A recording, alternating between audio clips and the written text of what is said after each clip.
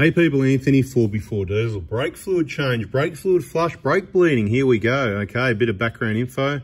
We didn't use the blue brake fluid on this, okay? So, bit of general information. Brake fluid should be changed every two years. It's hygroscopic, which means it absorbs moisture.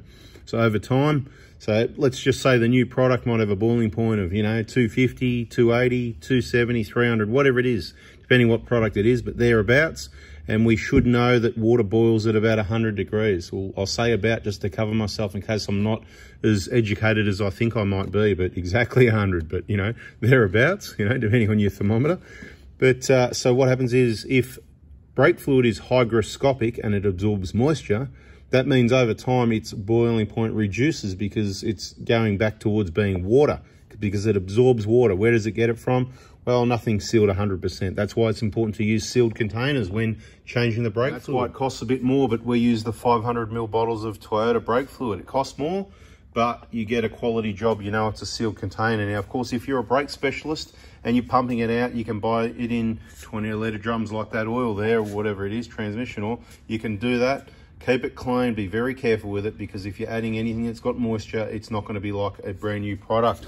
So this is what we use anyway. Generally, when you change your brake pads or shoes or anything like that, the truth of the matter is you don't need to bleed the brakes unless you've opened up the system and got air in there, which in the case of changing um, you know, wheel cylinders on a, a, vehicle that's got drum brakes and brake shoes, then you need to get that air out. Now, obviously, air goes to the top, so if there's any air in here, it comes to the top. But while we open up the bleeders and the fluid flows down fast enough, then all the air comes to the top of the caliper. So what we're going to do here is, like I said, every two years, or by Toyota's schedule, it's every 40,000 kilometre service. They've somehow estimated that's every two years. A lot of vehicles says every two years. They all vary a little bit but the general rule is every two years, every 40,000 Ks. There's no such thing as doing it too much because how long's a piece of string? I mean, you know, when it's two months old, six months old, it's the boiling point's already dropped. So there's no point, there's no such thing as doing it too much. So that's why what we do, what we recommend is every 40,000 Ks or every two years, or if you can't think how long it's been,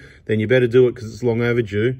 And when we do our brakes, we do it again. In case we missed it every two years or every 40,000, like I said, there's no such thing as doing it too much. Those bottles are about 10 bucks each. You're only going to need two. So for $20 every couple of years. So as if you've been watching the videos, we've recently done change the brakes on the Hilux. So in all fairness, we want to get fresh fluid in there. Fresh fluid helps look after everything. Now, the reason I'm doing this video, there's a number of reasons really, but one of them is if you're pumping your brake pedal, this master cylinder is 10 years old, right? It's the master cylinder down under there. It's 10 years old. It's used to normal travel. That's a small amount of in and out on the brake, not going all the way to the floor.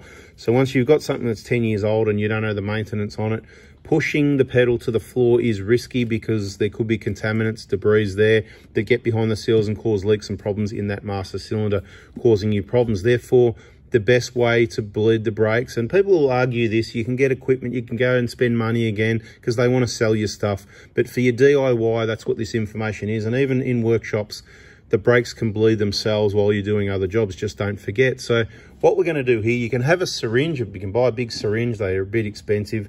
Or you could just use a bit of clear PVC tube, get a gravity feed going.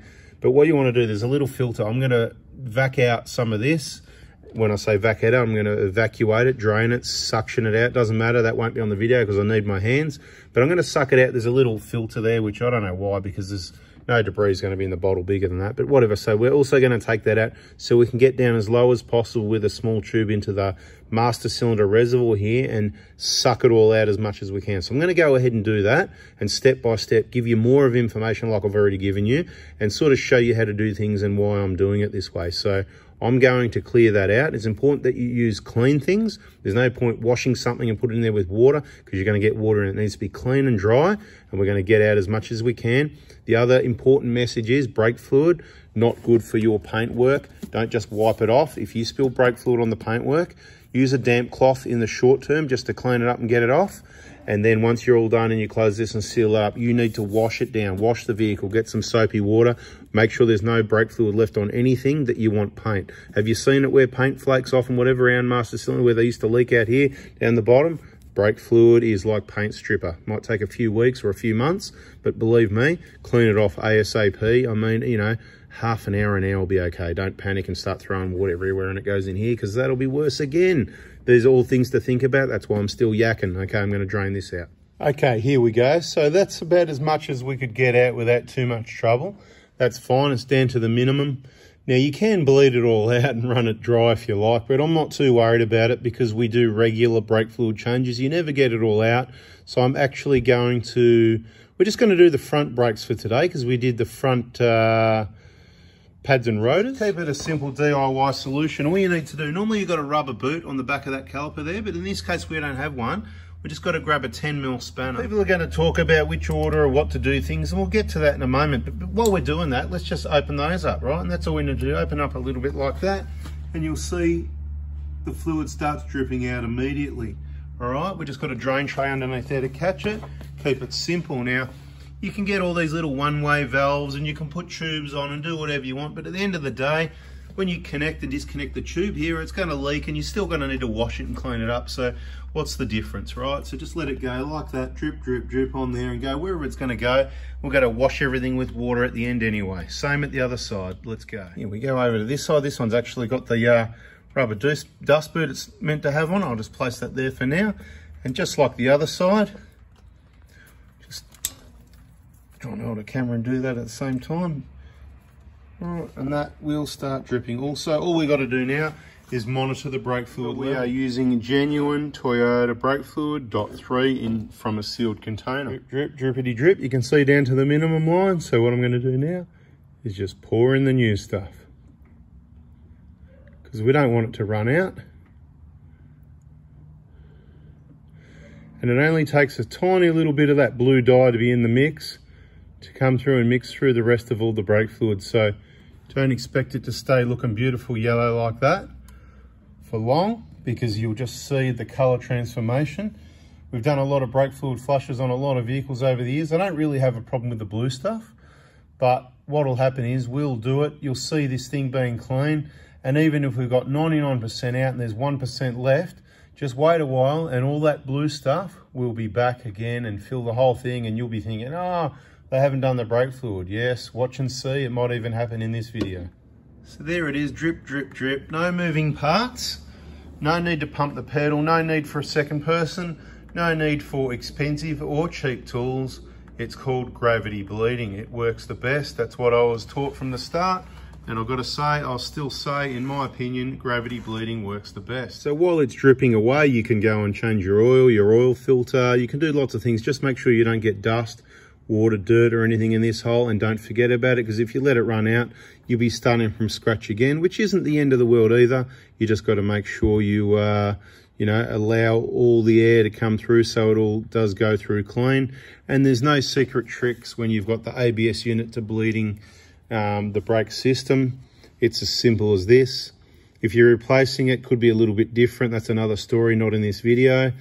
But if you've got the 150 Prado with the accumulator master cylinder here, the only difference is you need to leave the key on. So you need to make sure you've got a good battery and uh, happy days. Bada bing, bada boom would be the uh, answer there. We're just going to let this slowly bleed through. We've got a couple other things to do, which will be in other videos. So subscribe, turn the bell on, and we'll continue this one very soon. Just waiting. Drip, drip, drip. So you can use a drone tray like that, whatever you want right? That'll do the job. You got to mop around it afterwards anyway because a bit of a splash here and there. Like I said, clean the vehicle, clean the floor, clean the drain container. Well, you can even make a container and I just want to show you. See the blue stuff that's coming out? Out with the old, in with the not blue. But you watch it all go blue. Anyway, you can get an old five litre container, cut the side out of it. That contains all the mess pretty well. Okay, so you can see how clean it is. Bleeding, bleeding through a bit. This back reservoir here, going through. This one's still got some colour in it. The rest of it's pretty clean. But watch and see what happens next time you see the vehicle. The whole thing will be blue again. Over this side, it actually looks like it's running out fairly clear now, which is good. Over this side, you can see the colour at the back. So the area where it's dripping is definitely more clear. So I'm happy with that. What we'll do, we'll just wait till the... Um, we might even close them because we haven't actually pumped up the brake pedal either. And the same thing, when you do your pads and rotors, you do need to pump up the pedal before you drive the vehicle or you might not have any brakes. Very important information. Okay, so when you get back in the vehicle and it's that being aware and not pushing it to the floor thing because if you push it to the floor, you've just done that pushing it past its normal travel, which is one of the main reasons we've said to do brake fluid changes and brake fluid bleeds using the gravity method. So I'm going to close up those down there at the moment and just give the, the vehicle some nice short pumps on the brake pedal, you know, rather than right? I'm just going to go lots of little dabs. I don't care if I've got to dab it 20 times, okay? Because we want it to only go its normal travel and that'll push the pads out to where they're meant to be and we'll set the final level on the maximum line. So there you have it. Pedals pumped up nicely. Bleeders are closed. Don't over tighten them. They are a hollow screw, very hollow. They've got a big hole up the middle. So it's going to be something like, I don't know, 10 newton meters, maybe five. I don't even know. I've tapered seat just nicely to stop the fluid. Doesn't have to hold the whole car together or the engine or the caliper. Just stop the fluid from coming out. It's just got to seat nicely, but tight enough that hydraulic pressure doesn't leak out. So it's one of those things you get to know or you look up the torque spec, which I don't have for you. I'm sorry. Very important to look that up. Now we're going to get that filter back in there and get that cap back on and close this up as soon as possible. And we'll wrap this one up with a bit of final information we promised throughout the recent brake videos for anything that I missed. The filter's in position, as you can see. Not that we needed it, but uh, there it is, because that's how it goes.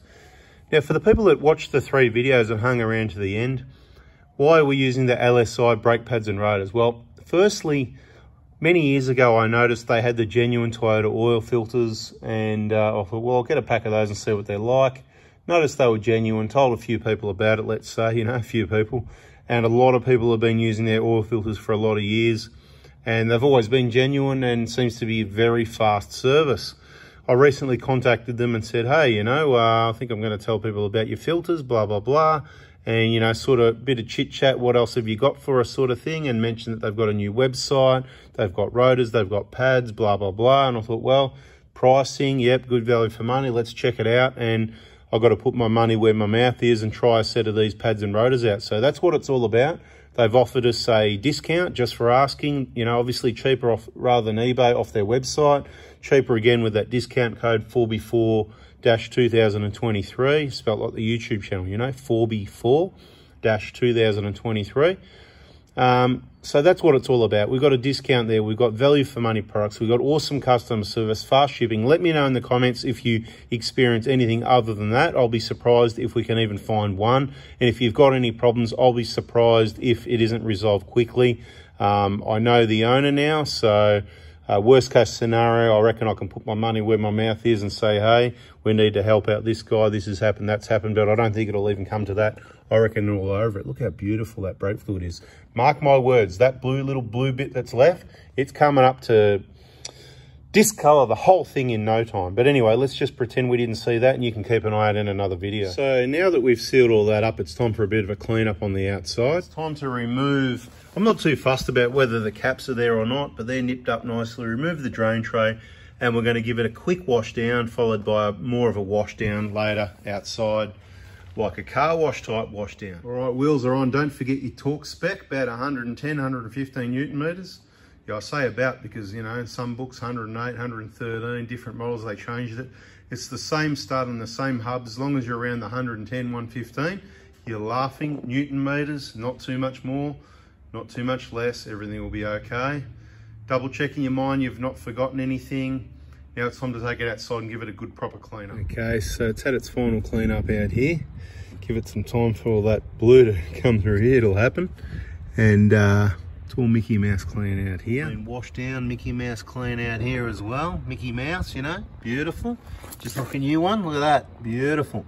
Now it's time for a road test. We've got to drive it, make sure the brakes still work because I worked on the car. And if the brakes still work and you didn't forget anything, all those nuts and all those lines and all those wheel nuts and all that brake bleeding and all that stuff, and you didn't forget anything, then you've succeeded and you're not going to kill anyone. So like I said at the start of these videos, if you shouldn't be touching cars, maybe these jobs aren't for you but hopefully there's some information in here that if you're going to do it anyway it helps you complete it a little bit more safely and successfully. Thanks for watching. Subscribe turn the more bell on because more videos on brakes and other stuff coming your way. Thanks for watching and keep your eye out on that because i'm not doing anything. I'm not putting any more blue in there but i reckon it's going to go all blue. Always happens.